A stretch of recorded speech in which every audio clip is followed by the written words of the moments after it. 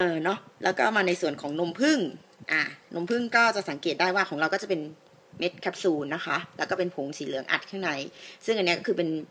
เม็ดเอ่อนมผึ้งล้วนๆอะหกเปอร์เซ็นต์อะมันก็จะเข้มข้นอะแล้วก็จะไม่ได้เคลือบออยไม่ได้มีอะไรทั้งนั้นก็จะไม่ต้องไม่อ้วนไม่ต้องกังวล ในส่วนของเม็ดองุ่นก็เหมือนกันนี่เม็ดใหญ่มากเป็นเหมือนองุ่นตามท้องตลาดนะ อืม ก็กินอันนี้ค่ะสังก็กินอันนี้ตอนเช้าเอ่อแล้วก็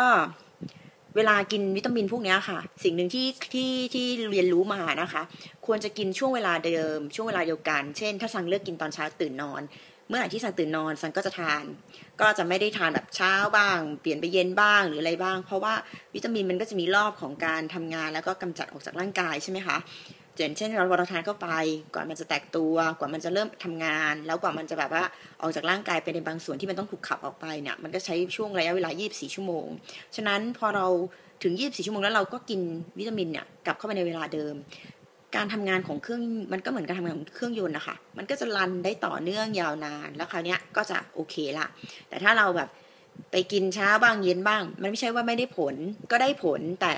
จะได้ผลแบบดี ขนาดที่ที่ควรจะเป็นไหมก็อาจจะต้องเสี่ยงดวงดูเนาะเพราะแต่ละคนก็ตอบไม่ได้ แต่ถ้าสั่งกินแล้วที่สั่งได้ผลเนี่ยสั่งก็จะแนะนำแบบนี้นะคะ แล้วก็